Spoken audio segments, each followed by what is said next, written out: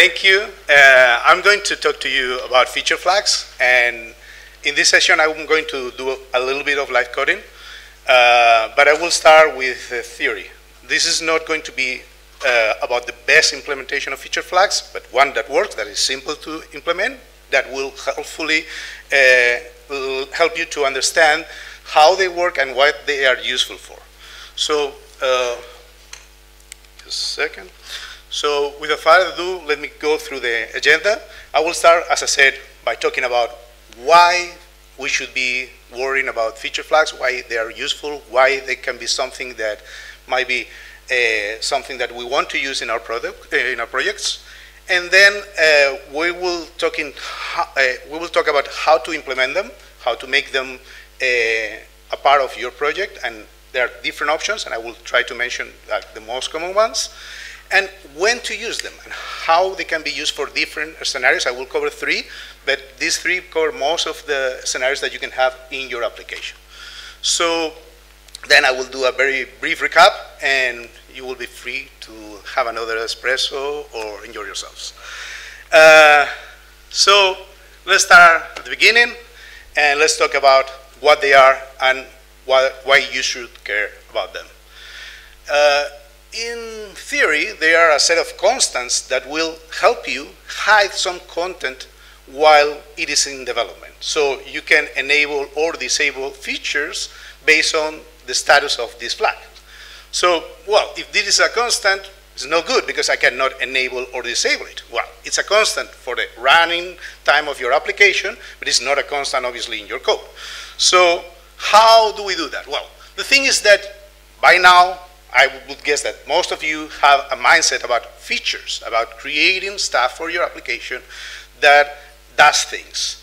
And a feature is basically a, characteristic. It, it is not only some logic that you add to your product, but also it can be some new animation, some different uh, look and feel that you add into the, your product, anything like that. In general terms, I could say that there are several ways that you can implement features, and all these features uh, are going to be something that disrupts your code, that, that may cause damage in the code that you're writing. So the thing that you want to do here is, well, you have been told to get a ticket and start with implementing the, the, the feature that you've been told to, or if you are a single developer, you thought that it was a great idea to add this feature to your new product. So what do you do? Uh, well, basically, you sit down, you create a new branch, and you start coding. Isn't it what we all do? Mm, no, you shouldn't do that.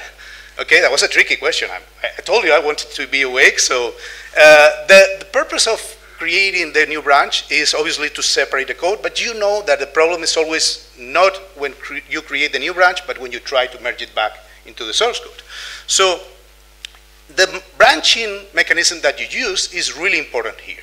And I don't know about you, so I'm going to ask about the three of them, but probably if your Git uh, skills are a little bit beyond Git init, Git add, and Git commit, probably you know about Git flow. Let me please raise your hands if you uh, are using Git flow in one way or another in your products. Okay, I would say at least half, probably a little bit more of the audience is already using Git flow. And as you know, it has long-lived branches, which means that, uh, for example, main, which is where the main version of your product is uh, based, or develop, that is where uh, every branch for a feature starts, or even the hotfix or the releases where they get stabilized. All of these are a part of your product. And merging back things from one of these branches to the others is sometimes, at least sometimes, a pain. So they decided to do something different, and they started with GitHub Flow. And probably that was something that came out of many open source projects. And the difference here is, well, I have a main branch, and I'm going to use feature branches. Before I continue with this, some hands up if you're using GitHub Flow okay, a couple of people. GitHub Flow is using a single main branch, and then when you start a feature, you commit to that branch the feature branch, and when the feature is ready, you merge it back to the main branch, which is not bad. I mean, like, you don't have all this mess with many features, many branches uh, that are long-lived, but let's be honest here. I mean, even though our product managers believe that a feature is something that can be implemented in 10 minutes, in most cases, that is the case. So sometimes you need more than 10 minutes to implement your feature, and you need several commits to do that, and then uh, you have a problem when you are merging back because sometimes you have several feature branches open. So there's another alternative, and let me ask again. Hands up if you're uh, using trunk-based development. Yeah, a couple more. So trunk-based development is probably the trendiest thing. It comes from the, the catwalk in Paris, and it is uh, uh, using a single main branch, and you're constantly merging code into that. And probably the first time you hear about that, if this is it, uh, you start thinking these people are crazy because merging back code that is unfinished is something that is quite damaging, uh, quite, quite harmful, and, and something that you don't want to have uh, in your code. So the idea here is that obviously you need tests if you want to have this model of branching, and everything is going to be tested and enabled or disabled based on the, the build that you are running. So this is when feature flags made a lot of sense, but as you can see, also in the two other branching models, they, it is relevant. I have already mentioned a few reasons why you don't want to start coding uh, by itself and forget about any feature flags, but let me recap a few of them. So needing more than 10 minutes to finish a feature is one of the reasons, but also it might be the case that you are doing some development and you get an immediate, urgent thing that you have to solve uh, in order to keep your users uh, from killing you next time on the street. Okay, so you want to fix that, but you are in the middle of developing something, so you have to switch back to that development and hey, I want to be able to disable all the things that I was creating at that time. Another thing that might happen is that, hey, you have developed this thing, it works, it has even passed the QA or whatever mechanism you use to approve things.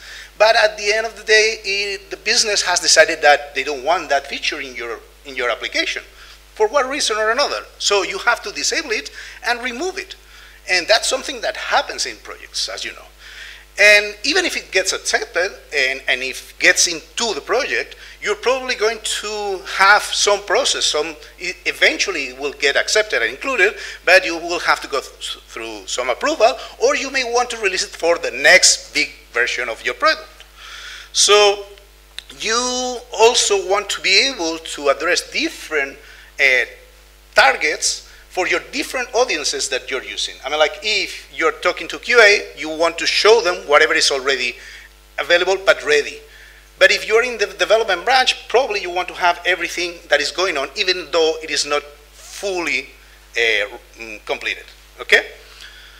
So that's probably one reason for having all these feature branches that uh, will be included in your code base. And the goal here is to have one single code base that based on the configuration that you use will enable or disable features for each of the audiences that you have. How do you implement this? Well, it couldn't be easier. I mean, like, we are developers, so we know how to do an if else.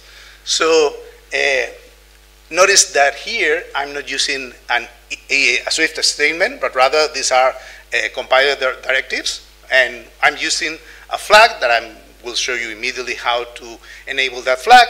And this flag is mm, what will decide whether this code should be included in the final uh, code that is going to be executed or not. If you have some prior behavior, then you, may, uh, you put it in the else clause, okay? If you don't have any, else clause won't be there. You will be putting in these feature flags only yes or no, only true or false, only enable or disable. Don't use feature flags to set up parameters for the data. I will show you how to do that instead, but I think it's far more easy to read the, than uh, having the configuration in these feature flags, just having a yes or no and being able to read the code, whether that is enabled or disabled, and then the configuration will come afterwards. And, well, regarding how to set these flags, let me do a brief recap in what the requirements are and how Xcode implements these requirements. So one of the things that you want to do is to produce different builds for different audiences, as I have already mentioned, and uh, the features are going to be moving forward. So you start by developing something, and it is not ready yet for anybody else, but when it is ready, you enable it only for QA. You don't enable it for your final users yet until it has been tested. If you are a single developer, uh, bear with me because I'm going to talk about you also. But if you are in a bigger team and you have QA uh, and you have beta testing and all this stuff, probably you are going to address these feature flags one after the other. And when the, the previous stage is completed, then you will move forward to the next one. So how does Xcode allow me to build things? Well, you have targets, which are just a collection of files, basically resources and code, that uh, help you to produce an executable, a framework, whatever, a product. You also have build configurations. The build configuration is a set uh, of all the parameters that you want to use in order to compile, to build the application that you're running. And then you have a scheme. That is basically a UI helper, like you're saying, when I run this application, what you're going to do is to use this target with this uh, build configuration in order to produce the product that I'm looking for. Or when I'm debugging, you're doing this and that. So what we're going to do here is we're going to use this uh, parameter, which is Swift active compilation conditions, and we're going to set the flags that we want to have there. This would be very similar if you come from the Objective-C world or even from uh, C or C++. It would be similar to the define that you would use in, a, in one of these languages. So this is how it would work. You will have all these stages. You will enable for your alpha, develop, debug, whatever you want to call to the, the version that you use in order to develop the feature. And it will be moving on, as I was explaining before, from one to the other. You will enable to QA when it is ready, then to external testing if you do beta testing, and then you make it uh, open to the rest of the world. And it is very, very important that you put yourself a reminder and you clean up. Hey, we're developers, we clean up. After having this uh, feature enabled, we remove the old code and we remove all the feature flag that is not needed anymore because that is stable, that belongs to the code, and there's no need to have the feature flag. If you're doing that as a, a single developer, well, I mean, it's just basically a feature flag for the debug, and you enable it then for the release. Still works. Simpler, but same story. So what is the way you do the implementation in Xcode? Well, you don't use uh, targets for different flags because you could you could uh, think of having like different files with uh, different settings for the feature flags, and that would be using different targets. I wouldn't recommend that way. I instead would recommend using build configurations based on xcconfig files which uh, are going to allow you to set this parameter that I was mentioning before. And then uh, if you want to expose different configuration parameters, you can expose them through a plist, through an info plist, as we have already done many times. And uh, knowing what the configuration is, we will choose one parameter or another. You can also use a, a different identifier if you wish to. And if you do that, please bear in mind that, that you have to uh, somehow figure out what, how you plan to do the transition. Because these are going to be two different bundles and if you want to move data from one to the other you have to think that beforehand okay? So this is where the build configurations belong in the in the setup of Xcode. You're probably very familiar with this window and I will go to the actual Xcode in a moment. And we will set them uh, these xcconfigs uh, as the base uh, configuration for each one of the build configurations that we will be using. That's it. I mean, like, it, it, is as easy as that. And one thing that uh, it would be important and that uh, it would be very useful, and it came out as after a discussion with my colleague Diego, who should be somewhere around here, uh, is, well, let's make this also useful for people who want to do it dynamically. If you have one of these picky QA uh, team that wants to enable disable flags at their own will, well, I mean, like that's also possible. Usually when you're doing the static ones, you're controlling the process as a developer. You are deciding what is enabled for each of the stages. But if they have to have the capability to uh, enable or disable things at their own will, you can use dynamic ones. They will be able to change the behavior of the application, and they have to be controlled elsewhere. Let's talk about scenarios, and I will do the live coding with the first one. Uh, the most obvious scenario that comes to mind when you're talking about feature flags is when you want to change the logic, how things behave, what some way of calculating some stuff or some new way of doing stuff or something that is done that wasn't done before. But these feature flags can also be used, and it doesn't, uh, the examples I'm going to show are going to be for a Swift UI, but it will work exactly the same for UIKit or if you're using AppKit for the Mac, same thing. The, the thing is that you can choose one way or another, enable feature flags, and even you can mix that with A-B testing if that is your will. If it is a minor change, it will be like a simple if statement in there. But if it is a, a bigger change, if you're changing completely the view that you are traveling to, that you're navigating to, probably what you want to have is to have the navigation conditional. So navigate to one or the other based on that. I will show you code on that in a minute. So uh, I have already done a sacrifice to the demo gods. I hope I'm lucky. If I'm not, I will ask your forgiveness. But I'm going to show you how to do this stuff in Xcode. So, okay, this is the application that I have created, very simple. The source code is available, and I will show you the, the URL in a moment and if I forget, please remind me. Uh, but this is a mood logger. So if you want to remember uh, if you were happy or sad at that moment in time and you want to record that, well, this creates a list of moods and you can add a new one. And because I'm here in Torino and I'm very happy, I create a new one that is happy. That's simple, okay? So the idea here is just to enable one thing. I did this as a proof of concept, and this proof of concept is using uh, like in-memory storage. But I want to do better. I mean, like I know that Realm, uh, that is MongoDB Pro, that is the company they work for, can enable me to sync uh, data from one app to another, and I can do synchronization between my iOS and my Mac, uh, or even my iPad. Well, I can use Realm here for the storage instead of uh, implementing it in memory because it's, let's be honest, useless here. So what I'm going to do is to go step by step through the process of creating these feature flags. And the first thing that I'm going to do is come here to the project that I was telling you before. And uh, you, as you can see here, this is the default configuration. It comes with two build configurations. One is the debug. I think is that is a bad number, uh, bad name, sorry. Uh, I would call it develop or alpha or whatever. But, well, this is the name that, that Apple has given to it. And I'm going to create a new one, debug, release, and I'm going to create a third one. This one is going to be QA. I could create more, but just for the sake of simplicity, I will go with QA. So I'm going to be using a, a copy of the debug one, and I'm going to call this one QA. That's it.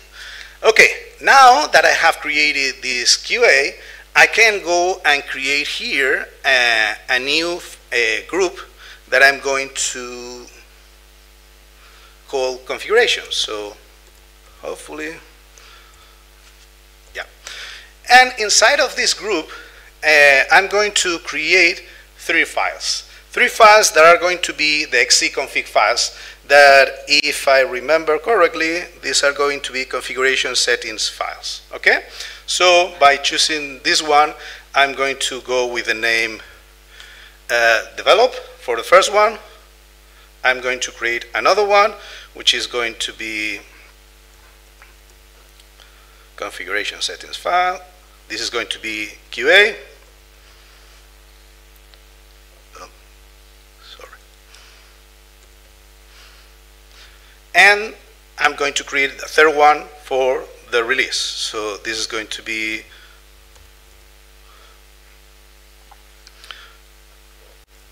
release. Okay, so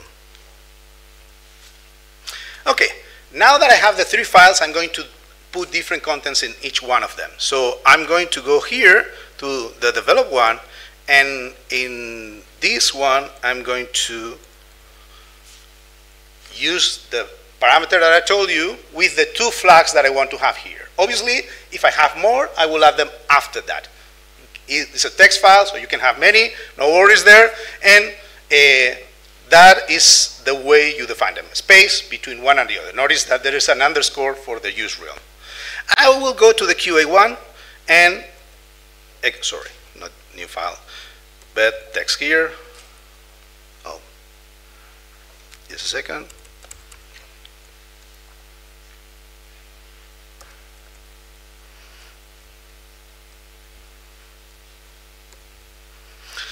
In the case of the QA, I am not enabling use realm yet because I haven't done any development. So it's only the debug configuration.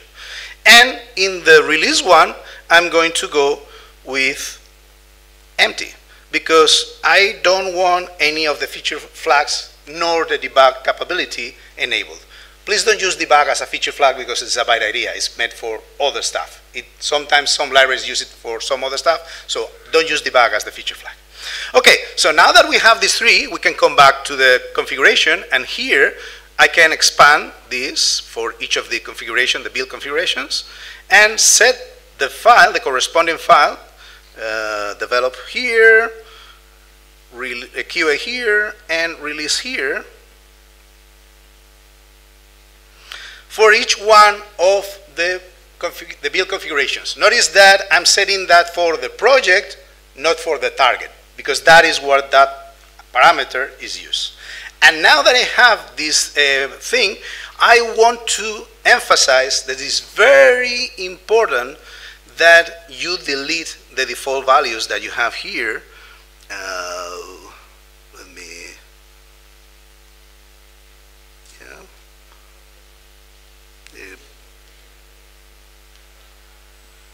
what is it?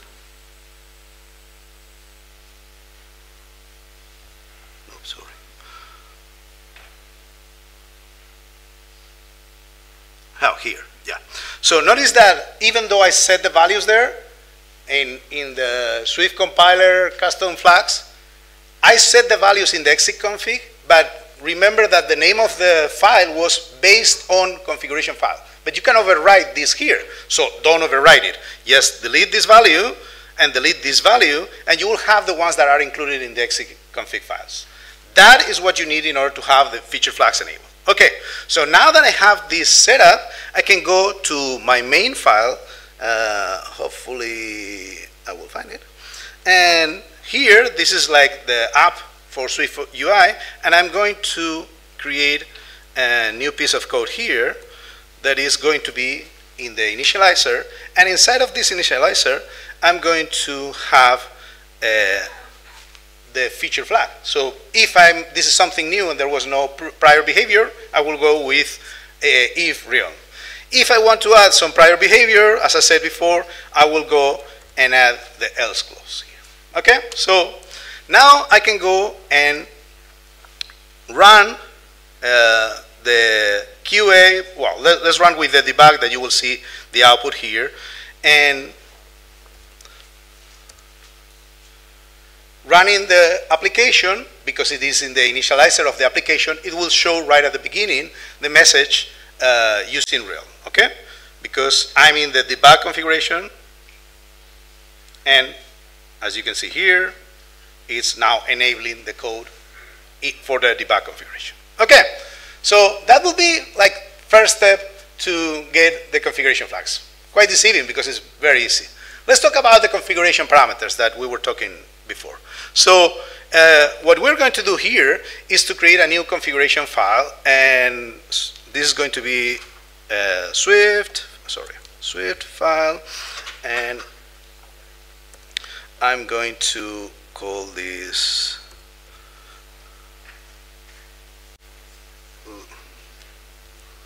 give me a second.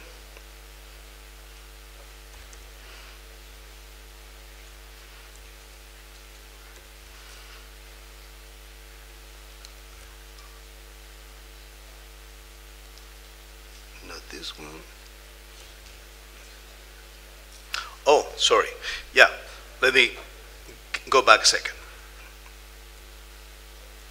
So the next thing that I would like to do is to expose the configuration that I was uh, using. And in order to do that, the first thing that I want to do is to have uh, the, the configuration exposed in the init file. So I go back to the configuration of the project. In this case, I'm going to choose the target.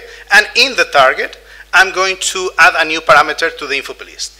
If you were using Xcode prior to the latest version, to 13, uh, you would have an info plist for each of the targets. But as you know, if you're using Swift UI in the latest version, the info plist is not created. It is generated uh, when you compile. So here, I'm going to create a new one, and I'm going to call this configuration. And if I make a typo, please tell me, because otherwise it won't work. It's going to be a string, and the string that I'm going to have here is going to be con Okay, okay, thank you.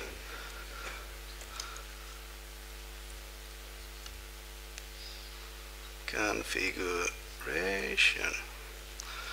and parentheses. What I'm doing here is exposing this parameter that is created by the compiler so you can consume it from the source code, okay? So that is it, and now I'm going back to the main application, and inside of the init, let me close this so I don't get confused by them.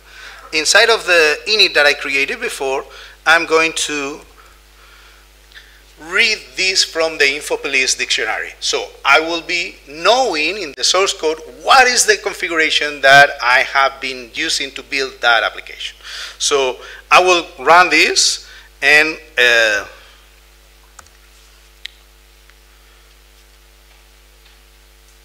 and in a moment we will be getting the configuration and the string, the string is the name of the configuration that you're using. The one in the build configuration is known in the xcconfig file. It could be the same, but it doesn't have to, okay? So when you compile that one, you will have the configuration debug here, okay? Now I can do better. I can use that uh, on purpose on code in order to create something that is more value. And I can create a new file, which is going to be a Swift file, and I'm going to use here the name configuration for a configuration Swift file, and it's going to be an enum. Uh, I will explain why immediately, okay? And this configuration is going to be uh, added to the target, and I'm going to use it here. So this configuration, oh, sorry. This configuration is going to be using the configuration that we have from the code. So here, oh, um, let me move this back. So this is going to be a string-based configuration, and what I'm going to have here is the three cases for the three configurations that we are using. Debug, QA, and release. And then we're going to, that's why we made it a string base, and then we're going to create a static uh, variable uh, that is going to be calculated, is computed variable, and the thing that is going to use in order to get the value is to use the string that we were using before, but is going to use that as the raw constructor of the configuration. So by doing that, you can have a, uh, access to the configuration. Obviously now it's complaining because I didn't import foundation, which is required in order to have access to that dictionary, but that is now solved. And by doing that, by having this configuration, that when you call it, it will be current, uh, oh, yeah. So I read the string. Now I create the configuration using the creator from the raw value, and I return it. Okay? And that should be it. That is what you need in order to create the configuration. Now, the thing that you can do is to use that value in order to choose the value, the name of the server that you want to uh, return. So, for example, for QA and debug, I will be using the development or the staging server, while for production, I will be using the other one. That is much cleaner and it is inside of the code rather than in a plist that would be something that a user can change is in an easier way than this, okay? Okay, so that should be it, and in order to test it, we go back to the application, and I'm going to remove this one because now I can do that better, and I'm going to use the, this uh, line instead of the other one. I'm going to print the configuration, and I'm going to print also the name of the server based on that. Uh, I haven't changed that, so it should be printing the debug one. Uh, I have an extra line with uh, this is SwiftLint that is very nice and is keeping you busy looking at the yellow thing. And as you can see here, uh, this is now printing the configuration and the server name. Okay, much better, isn't it? So now let's go with the dynamic ones, and that should be the last part that I want to show you. Uh, regarding the dynamic ones, what we're going to do is to define this in a way that can be changed, but not while running the code. So let me explain this in, in a moment. Oh, one thing that I forgot to mention, and that it, it, I'm going to do the same thing here. I mentioned before that I was using an enum, and that I will explain why. The reason why I'm using an enum uh, is because in this case, the other one, it has some cases, but if you create an enum and you add no cases to it, that uh, allows you to avoid instantiating the code for that object. So it's a way to keep constants in, a, in an object inside of Swift. So uh, I'm going to use Swift here, and this is going to be, again, an enum. This one will be caseless. And here, I'm going to create a, a feature flag. Oh, sorry, this is not going to be an enum. This is going to be a protocol. And this protocol is going to be part of the process. And this is when I'm going to define how to code all of the different feature flags for the different settings. So here, I'm going to define a property that is going to be a, a static variable uh, that is use realm the name and it's a read-only one and is a boolean. Pretty clear, isn't it? So what I'm going to do is to create a file for each one of them. So I'm going to create a new Swift file with a caseless enum and here I will be using the debug feature flags and this will be an enum. And what I'm going to use here is define the implement sorry let's start by implementing the protocol the feature flag set protocol that I just defined, and here define the value of that property, that static property that I mentioned before. So that is enabled for debug. Now I'm going to create a new file also, and this file is going to be also Swift, also enum, and is going to be called, surprisingly, uh, the QA feature flags, okay? And again, I'm going to go with implementing the protocol here, and defining the variable here. In this case, it's disabled, okay? And finally, I will use one for the uh, for the release version, and this is going to be the release feature flags, again, and caseless enum, and I'm going to add it here, implement the protocol here, and define the property here. That's it, okay? So the way I want to obtain which feature flags I'm going to use, and I know at this time you're thinking, hey, you, you told me that this is going to be dynamic, and this is not dynamic, this is static. Yes, wait for a second. So what we're going to do here is create a new thing that is going to be a, a factory, and I'm going to create this as a, again, a new factory thing. Oh, sorry. That is also going to be an enum and that I'm going to add it to the target. And this factory is going to uh, be using this uh, method that is going to return an object that impl implements the feature flag set protocol. The way it decides which objects it will return is based on the configuration.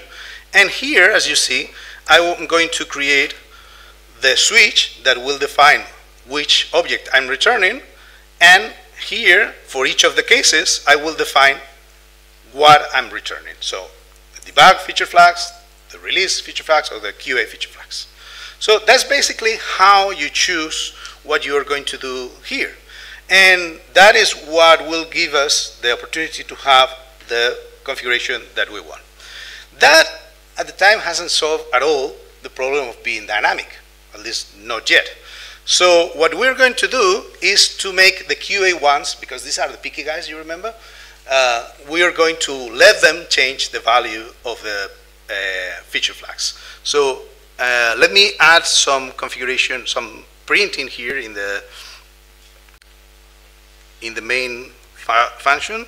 So if feature flag factory, then get the flags for the current configuration, give me that, and then I will enable or disable that. So that's basically automatic. That's how you can use it.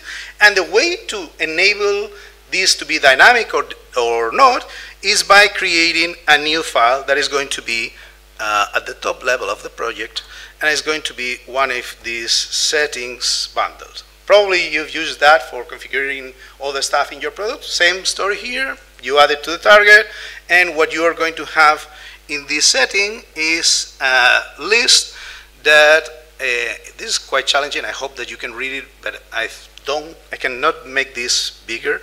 So uh, I'm going to create a group here that has a title that is feature flags. I'm going to delete one of the items here and the other one. I'm going to leave the, the toggle one. And for the toggle one, I'm going to change the name that is going to be displayed. So that will be use real. So we understand what it is. And uh, did I? Oh, sorry. I change it in the in the field that is not the right one. Okay, so use real here, real, and here in that is the the value that is exposed. I'm going to use use underscore real. And I'm going to set the default value to no because I don't want this, the QA guys to have this enabled by default. Okay, so that's basically it. And I have now this ability to have the, this configuration exposed through the properties, through the settings of my application. What do I do next? Well, the th next thing that I would like to do is to have this in a way that I can be used by, uh, by the application. So what I'm going to do here is to have another uh, oh sorry. Let me remove that. Not here. My bad. Just a second. So the thing that I want to do is to have in the QA flags if I can find that here.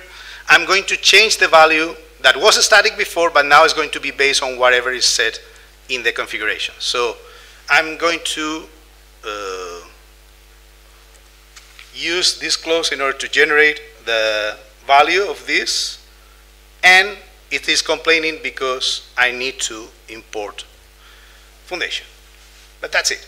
That's now enabling the use of this feature flag from the configuration that the user can use in order to enable or disable that feature. Now I go back to my main app and here if I can remember the sequence correctly, I'm going to have a very simple, uh, yeah, yeah, I know that it looks like a lot of code, but trust me on this, what it, this is doing is just using the settings to enable to register the defaults. You have done this many times, so that doesn't, that, that is not something that it, you will get as a result of this talk, hopefully. Uh, the, the thing here is that you are going to have that code uh, is required so you can use the whatever you said in the in the defaults consumed by the user defaults. That's it, okay? And we are going to do that at the beginning of the init here. So that should be, oh, sorry. I forgot that I should import foundation, which should be here. And I'm going to consume that function here at the beginning, and that's it. So now, if I go and switch this to QA, and go to QA and run it, that should be using the default value, which initially is going to be a no. And then I can go to settings, switch that to yes, and then the application will be using that as a yes. So initially, if I didn't make any mistakes, uh, this is going to be not using that. And now I can go to the simulator, go to the application here, switch it. Obviously, I'm not listening to any notification on a value change. So in, I need to rerun the application, but you can listen to notifications. It would just take some extra time. So that would be all the thing that you have to do in order to enable this in the code now. Uh, hopefully, now, okay. So this should be now using real dynamic. Yeah, so far so good. So let's go, thank you. Let's go with the recap and that should be it, okay? As I said before, there are three scenarios. I talked about the logic. If you want to do a minor, a minor UI change, you can do that. Pretty trivial, as you can see here. You can use a different modifier uh, using the, the uh, compilation conditionals and the directives. And you can do the same, as I mentioned before, using different navigation for going to one view or another based on the same stuff. So this is not only meant for logic, this also is meant for views if you want to. And regarding testing, that is a topic that I love, and, and I have spoken a few times before about testing. Uh, I, I'm going to say this, but I'm going to make it clear. You don't need them, but you want them, okay? Particularly if you're using uh, the trunk-based development, you want to have tests. That's not something that you can ignore. But don't use tests as an excuse to not use feature flags, okay? So uh, love yourself and your future team and include tests in your application. And if you are including tests, keep in mind that you have to test both scenarios. So you have to test something with the feature flag enabled to do something, and with the feature flag disabled to do something else. Okay? So not only the uh, previous uh, scenario or the new scenario, but both, because you want to know that you're not breaking the behavior.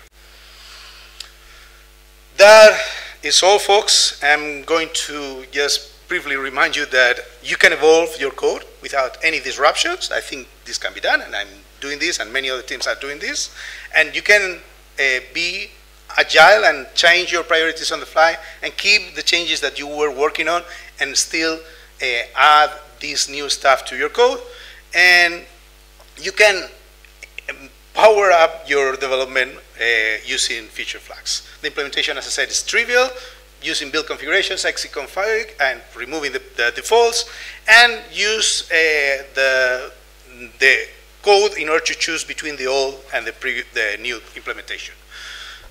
It's good for every scenario, not only logic, but also UI, and I hope that you start using them now if you weren't before. So thank you very, very much. Uh, grazie mille. And I have now, if I may, some time for Q&A. These are some resources. These are, this is my Twitter name, and basically feel free to ask anything you want. You may and you should, actually.